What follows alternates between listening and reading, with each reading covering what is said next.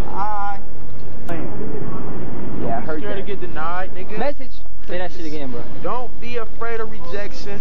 Just keep slaying. She don't wanna let you fuck. I guarantee her friends will.